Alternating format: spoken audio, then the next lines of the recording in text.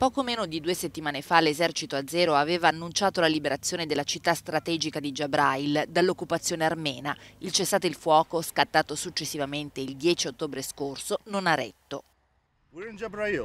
Siamo a Jabrail, abbiamo fatto molta strada, siamo arrivati poco prima dell'alba. Lungo il percorso abbiamo visto molti carri armati, militari, armi. L'Azerbaigian si sta sicuramente preparando per qualcosa. Il colonnello Abilov, a capo dell'unità di Jabrail, dichiara che la guerra continua. Certo ogni battaglia è dura, dice, ci sono perdite, ma i soldati azerbaigiani, gli ufficiali che hanno avuto ragione del nemico, sognavano di riprendersi la loro patria.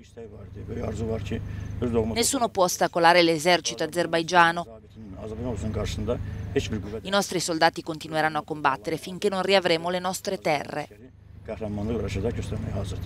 Il bilancio delle vittime cresce, almeno 12 persone sono morte e altre 40 sono rimaste ferite dopo il lancio di un missile che ha colpito Ganjo, la seconda città dell'Azerbaigian.